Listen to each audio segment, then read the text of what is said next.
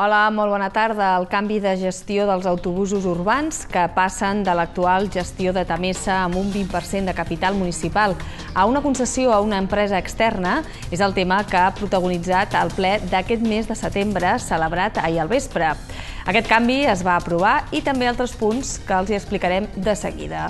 Primer, el sumari. L'Associació de Flautes ha organitzat una taula rodona sobre la reforma de les pensions que proposa el Partit Popular. A la xerrada hi han participat l'assessor jurídic i laboral Plácido Lordán i l'advocat i exregidor Roc Fuentes. L'equip masculí del Club Natació Terrassa ha guanyat per 6 a 13 al Mediterrani en el partit d'anada dels quarts de final de la Copa Catalunya. Amb aquest resultat, el conjunt de Daninar té peu i mig a les semifinals de la competició.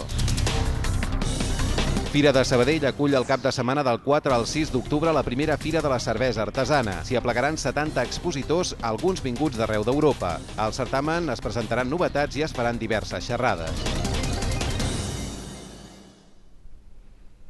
Tots els grups municipals han aprovat amb una unanimitat el canvi de gestió dels autobusos municipals. Responsables municipals redactaran el plec de clàusules que han de marcar les directrius de la nova gestió, que a partir d'ara serà privada. L'Ajuntament de Terrassa modificarà la gestió dels autobusos urbans, canviant el mètode actual de gestió indirecta i en la forma de societat mercantil amb capital social mix per la gestió indirecta mitjançant la forma de concessió. El ple de setembre n'ha fet l'aprovació inicial amb el vot favorable de tots els grups. Des del 1989 i fins ara, l'empresa responsable ha estat Temesa, amb un 20% de capital municipal. El contracte per la gestió i explotació tenia una durada de 20 anys que van finalitzar el 2009. En aquell moment es va aprovar una pròrroga en previsió de la posada en marxa de les noves estacions de ferrocarrils a la ciutat i per avaluar l'impacte en els patrons de mobilitat. Degut a l'endarreriment d'aquesta obra fins al 2014 i el compliment de la pròrroga a 31 de desembre d'aquest any, el consistori ha decidit encarregar la gestió a una empresa externa, amb més experiència en el sector i evitant els riscos de pertànyer a una societat mercantil, tot i que establirà mecanismes de control sobre la dinàmica interna del concessionari. Finalment s'ha considerat més adequat pels interessos municipals obrir un nou procés de contractació que permeti un ajustament dels costos del servei a curt termini i que resolgui també el problema inicial relatiu a la dificultat de fixar el servei de transport públic en el moment que entrin en funcionament aquestes estacions, indicant, el que farem és indicant al plec de condicions, que els licitadors hauran de presentar una proposta de reajustament eficient del servei actual que quedi complementada amb, quan es posin en funcionament doncs, la nova oferta ferroviària, doncs, amb aquesta nova oferta. Aunque nuestro voto ha sido contrario antes del periodo de tiempo, en absoluto ha impedido ir valorando eh, las mejoras que se han ido alcanzando en la prestación del servicio de transporte público en los últimos años, aunque obviamente nosotros consideramos que todo es mejorable. Con todo lo que le estoy comentando, que lo que queremos eh, eh, concretar es que nuestro grupo va a votar favorablemente. Eso sí, siempre dependiendo o en función de las condiciones que el pliego presente en las plicas del correspondiente concurso. Benvinguts al club dels que pensem que no té per què ser dolent obligatòriament la gestió privada d'un servei públic no és intrínsecament dolenta, sinó que depèn, i ho apuntava també ara el senyor Pereira, de quin sigui el plec de condicions, de com s'estructuri tot plegat i quins mecanismes de control pugui tenir l'Ajuntament. I aquí els únics que s'han atrevit a parlar obertament amb aquesta sala de plens a privatitzar un servei, un servei 100% municipal, eh, és Ecoequip. Vostès ho han dit, vostès ho han dit. I aquí l'exemple és diferent, és una concessió o un servei amb una empresa mixta on hi havia el 20% de participació de, de l'Ajuntament. Responsables municipals redactaran el plec de clàusules que han de marcar les directrius de la nova gestió. Aquesta tasca serà debatuda amb la resta de formacions a la Comissió Política de Mobilitat. La intenció és poder fer-ne l'aprovació el 18 d'octubre on no hi ha hagut tanta unanimitat ha estat en el segon tema important d'aquest ple de setembre, la condonació del deute de 14 milions i mig a Somatesa. Tant CiU com el PP s'han oposat a que l'Ajuntament perdoni aquesta xifra. L'equip de govern creu, però, necessària aquesta mesura per continuar podent fer polítiques d'habitatges socials. Oposició frontal dels dos grups de l'oposició a la condonació per part de l'Ajuntament de dos crèdits a la Societat Municipal d'Habitatge per valor de gairebé 14 milions i mig d'euros. El tràmit s'ha aprovat en el ple d'aquest mes amb els vots de l'equip de govern que continuarà negociant el deute pendent amb els bancs. El consistori defensa que aquesta decisió és per garantir la continuïtat d'un servei que consideren imprescindible per articular les polítiques socials d'habitatge, a més de disposar d'un parc d'habitatge protegit que supera els 1.200 pisos en uns moments d'extrema dificultat dificultat per la població. Les actuals circumstàncies del moment econòmic en què ens trobem, l'assumpció d'aquestes obligacions financeres no pot plantejar-se únicament dins el marc limitat de l'instrument municipal creat, o sigui, la Societat Municipal d'Habitatge, sinó que cal integrar-les en el marc operatiu més ampli que és el pressupost municipal. Aquesta és la diferència entre vostès i nosaltres. Són diferents opcions, nosaltres tenim la responsabilitat de governar i aquesta és la manera que, hem, que intentem ser responsables i conseqüents. Una societat que històricament no ha reclamat, no ha demanat mai un ajut a aquest Ajuntament, ara, justament, el municipi ho fa. I ho fa amb un objectiu. D'entrada, mantenir l'equilibri de la societat, assolir, aquesta, assolir la seva viabilitat. Per què? Perquè volem mantenir un instrument, perquè volem continuar fent polítiques socials d'habitatge. El Partit Popular ha posat en dubte la viabilitat de Som Atesa i que aquesta no sigui la darrera vegada que s'hi hagin de posar diners municipals. Convergència i Unió ha demanat a l'equip de govern retirar aquest punt de l'ordre del dia per considerar-lo una negligència i ha proposat buscar alternatives. No podem donar suport a que s'intenti salvar una empresa municipal a qualsevol preu i sense tenir la garantia, que això és el fonamental, de la seva viabilitat i funcionalitat. Són milions d'euros que perd, i així ho entenem des del nostre grup municipal, l'Ajuntament de Terrassa i, per tant, tots els ciutadans i ciutadanes de Terrassa. No desconeixem, i ho hem dit en altres ocasions, les greus, ja gravíssimes, molt greus, dificultats econòmiques de la Societat Municipal d'Habitatge, perquè estem parlant, en definitiva, de la seva viabilitat o no és que nosaltres estem proposant les fórmules no inventives, les que ens diu la llei, perquè en aquests moments estem fent un acte en el qual acreditem la manca de solvència, que és la que la societat municipal no pot pagar a l'Ajuntament i per això es perdonen aquests crèdits que els hi vam deixar. Però no només això, tenim tots els informes econòmics i sense ànim de ser exhaustiu ni de faltar el deure de la confidencialitat, que ens diuen que nosaltres la sostenibilitat només passa per fer aportacions periòdiques.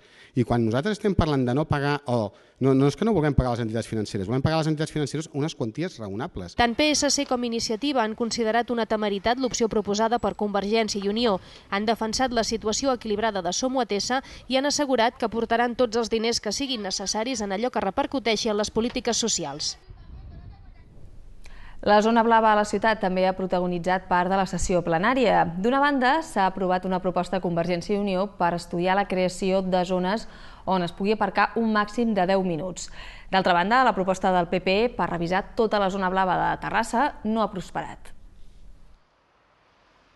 L'Ajuntament estudiarà l'oferta d'aparcament a la ciutat per comprovar la necessitat de delimitar una zona gratuïta de rotació limitada en aquells punts on no hi hagi zona blava, però on es detectin comerços que tinguin alta densitat de circulació rodada.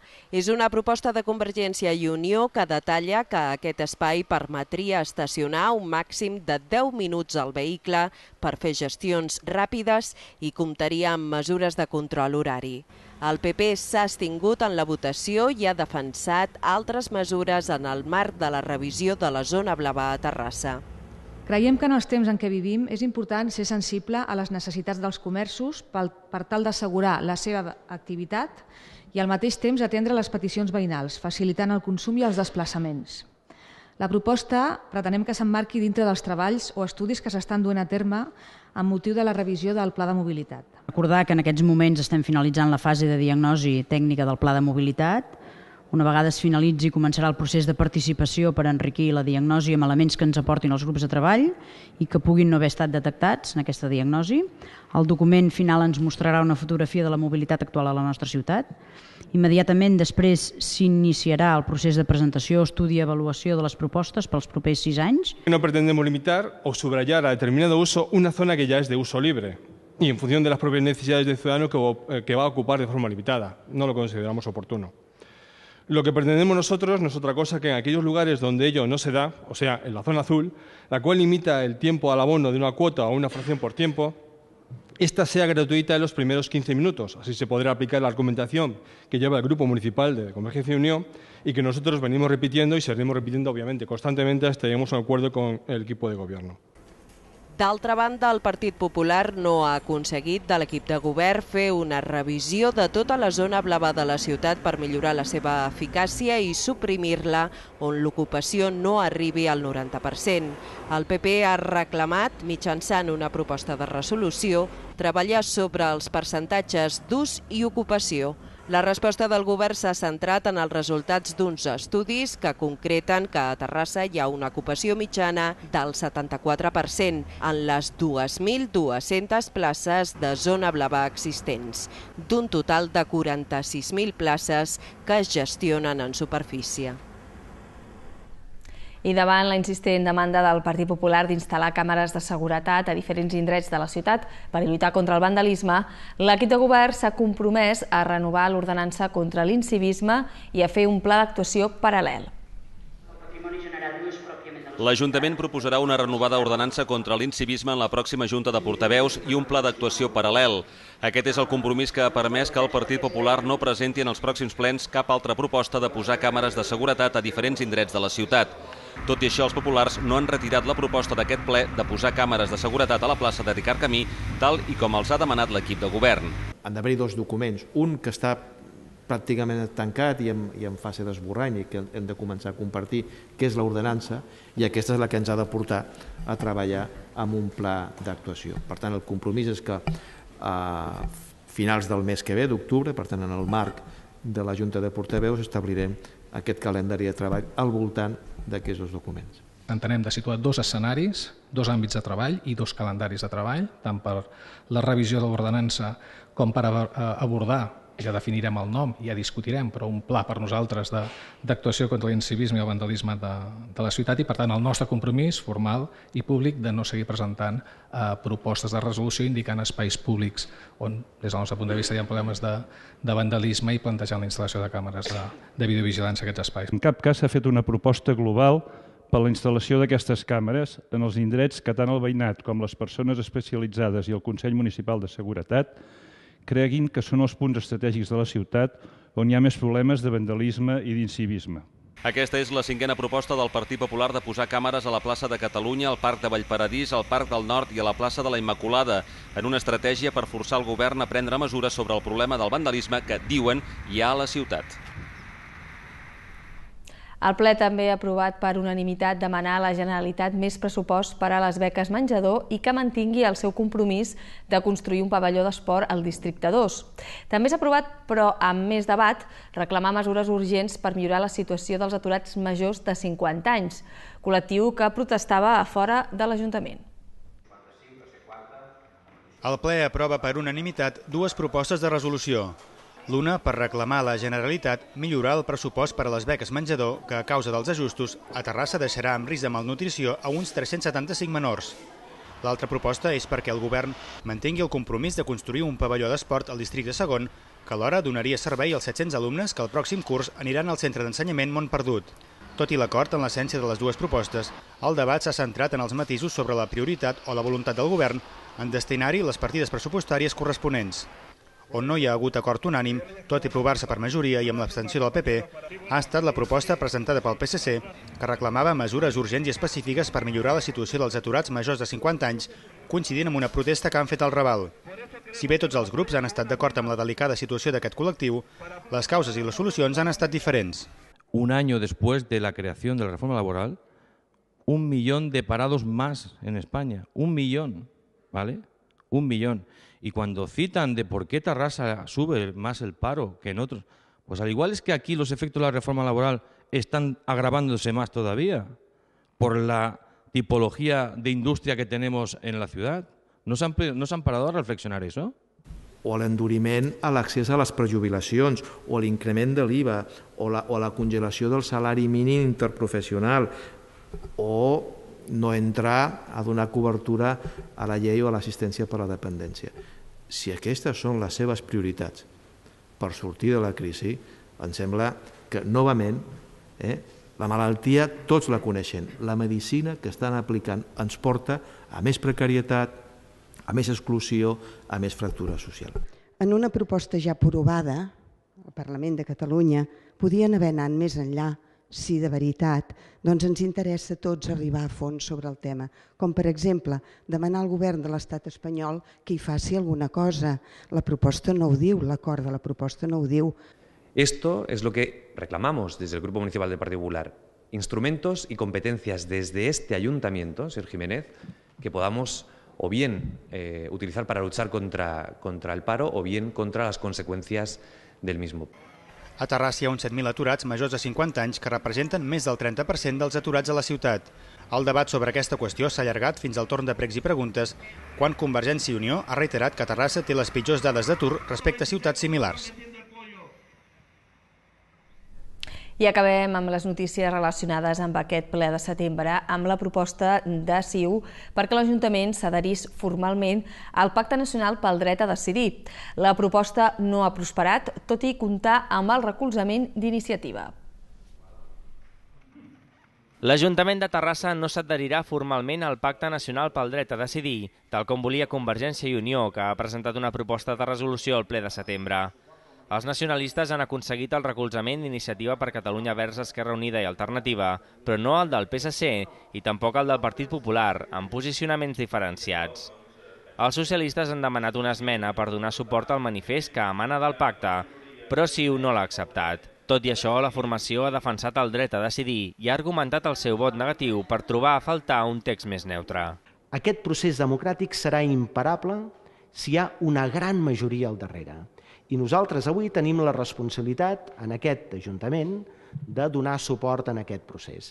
I per tant, des d'aquesta perspectiva, fem una crida a totes les formacions polítiques d'aquest Ajuntament per tal que ens dotem d'un gran instrument per permetre que els ciutadans de Catalunya puguin tenir accés a les urnes.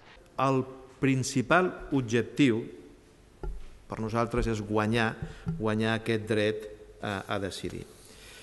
I aquesta és, avui, és la batalla política fonamental, no la única, però és la batalla política fonamental. Celebrar una consulta per conèixer la voluntat de la ciutadania de, de Catalunya. D'entrada compartim aquest dret a decidir i agraïm moltíssim aquest apropament que es fa des del manifest. Però també entenem que no es pot eh, construir un pacte nacional pel dret a decidir i paral·lelament crear estructures d'estat i un Consell per la Transició Nacional. Votaremos en contra de la propuesta perquè ens sentim orgullosos de ser catalans i, per tant, espanyols. Perquè estem en contra de la independència de Catalunya. Porque estamos en contra de levantar muros y fronteras entre españoles. Porque no queremos una Catalunya dividida i fracturada socialmente. Perquè defensem el model territorial de l'Estat de les Autonomies. Perquè defensem la Constitució espanyola i, per tant, la indissoluble unitat de la nació espanyola, nuestra nación Finalment, les formacions han votat per separat els diferents acords de la proposta. La regidora socialista Carme Labòria ha estat l'única que s'ha absentat del Saló de Plens en el debat i votació de la proposta. Tot i la crispació del debat, Convergència i Unió, PSC i Iniciativa han coincidit en la necessitat de sumar esforços per aconseguir una àmplia majoria que pugui exercir el seu dret a decidir i en la importància de fer pedagogia en la societat.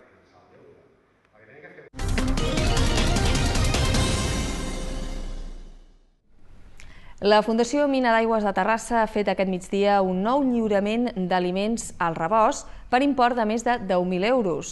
Aquest és el primer lliurament que la Fundació fa aquest any, tot i que ja va participar econòmicament en la campanya Omplim el rebost, celebrada al juny. El president de la Fundació Mina, Maria Galí, ha lliurat els aliments que ajudaran a pal·liar les necessitats de les persones més afectades per la crisi. L'acte també ha comptat amb la presència del regidor de Serveis Socials, Antoni Salvador. Mina d'Aigües, a través de la seva fundació, ha fet 11 lliuraments d'aliments al rebost des del 2009, l'import total dels quals ha estat de 78.500 euros.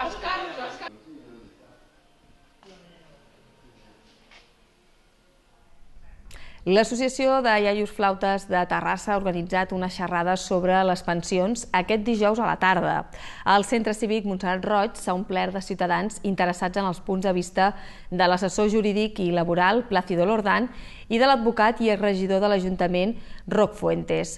Tots dos han estat molt crítics amb les reformes del Partit Popular. y el señor Luis Otillos, que es un de los El Centre Cívic Montserrat Roig ha omplert aquest dijous de gom a gom per assistir a la taula rodona que ha organitzat l'Associació de Flautes de Terrassa.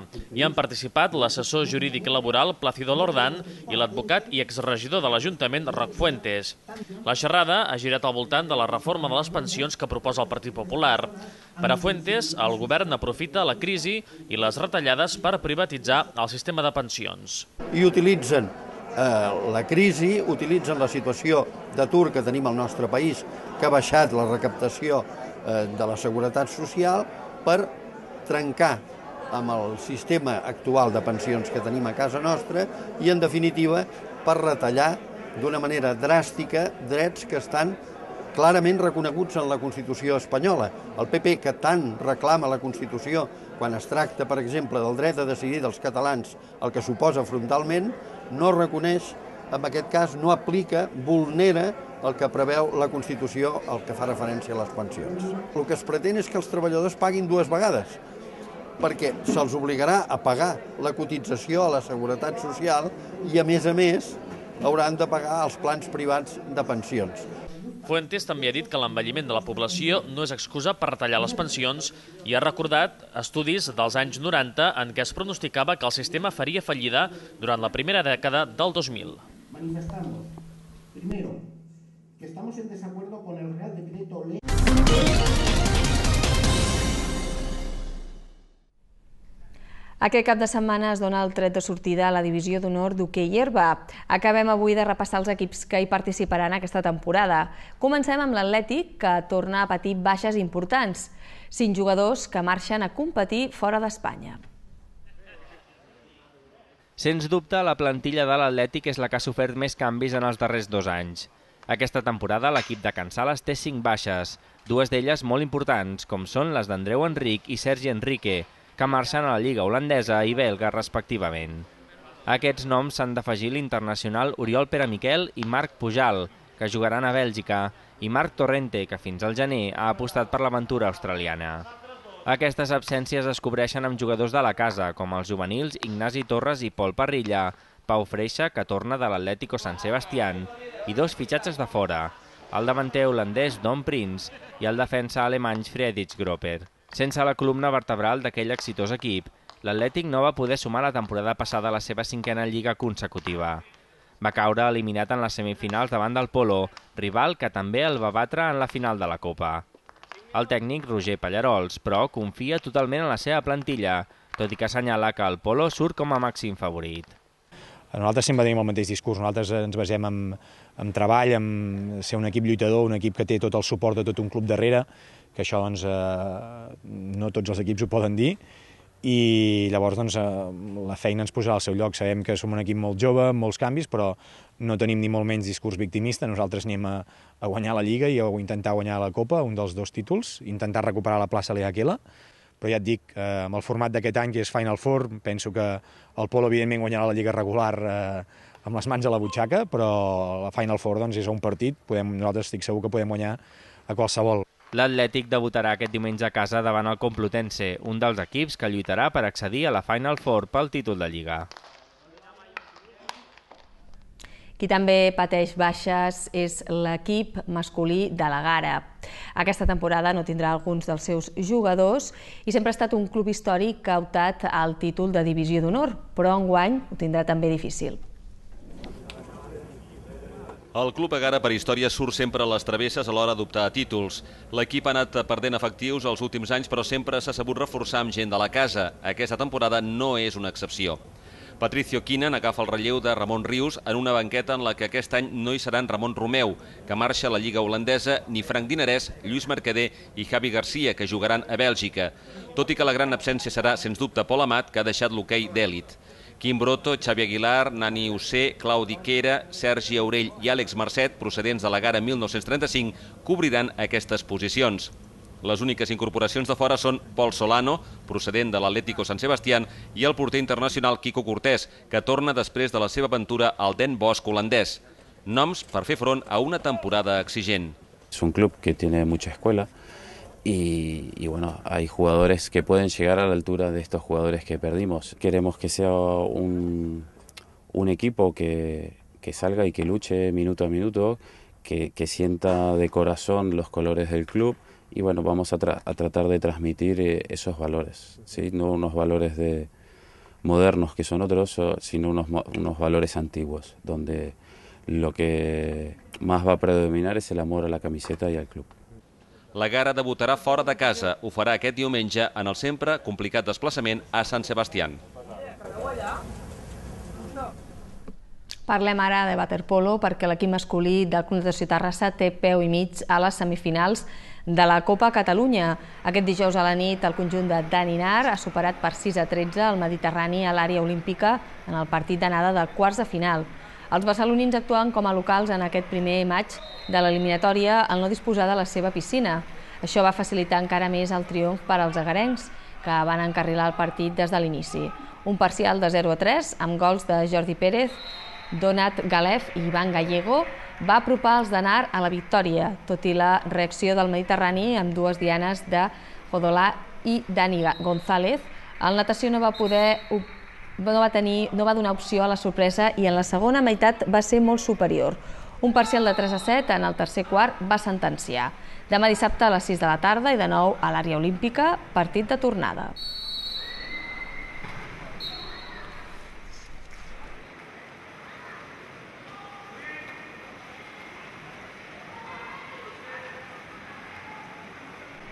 La Unió de Futbol Base Javac té nou patrocinador per a les properes dues temporades.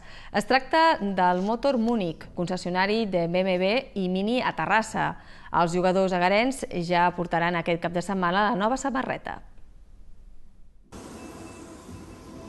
Motor Múnich, concessionari BMW i Mini a Terrassa, s'ha convertit en el nou patrocinador de la Unió de Futbol Base Java i Terrassa per a les properes dues temporades. Aquest dijous s'ha oficialitzat aquest acord que totes dues parts han assenyalat molt beneficiós per ser un conveni que fa una clara aposta per l'esport de base en un context econòmic on trobar sponsors és cada vegada més complicat.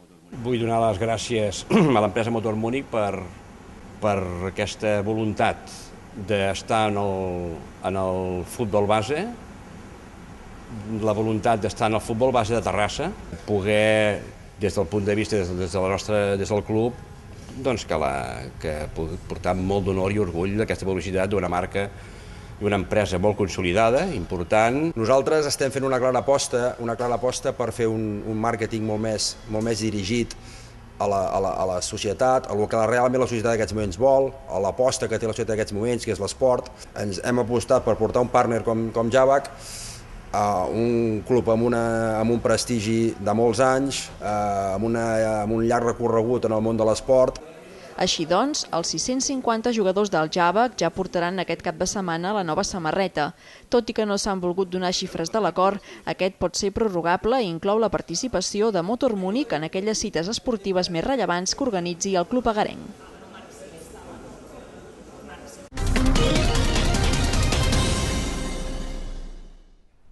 Sabadell es convertirà en la capital catalana de la cervesa. Del 4 al 6 d'octubre, la ciutat acollirà la Fira de la Cervesa Artesana, una bona oportunitat de conèixer un món que cada cop compta amb més seguidors.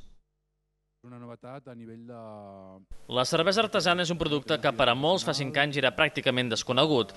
Avui cada vegada té més acceptació i han proliferat les cerveseries petites que aposten per la producció baixa però d'alta qualitat. Aprofitant l'embranzida d'aquest sector, Fira de Sabadell acull el cap de setmana del 4, 5 i 6 d'octubre la primera Fira de la Cervesa Artesana. Està impulsada per Sabadell Cerveser, una associació creada fa un any per tres productors locals. La fira està enfocada tant al professional com al consumidor. S'hi aplegaran 70 expositors, alguns vinguts d'arreu d'Europa. S'hi presentaran novetats i es faran xerrades sobre la cervesa. L'entrada al recinte serà un got que valdrà 3 euros i servirà per fer les degustacions. El got té, un, té una marca de 2 centilitres, eh, que serà la marca de tast. Això en principi és eh, la voluntat nostra de, de fomentar que la gent tasti, eh, provi i descobreixi la diversitat de la cervesa. No, no busquem un... No és, la voluntat de la fira no és un Oktoberfest, un gerres grans i veure moltíssima cervesa, sinó tastar i descobrir.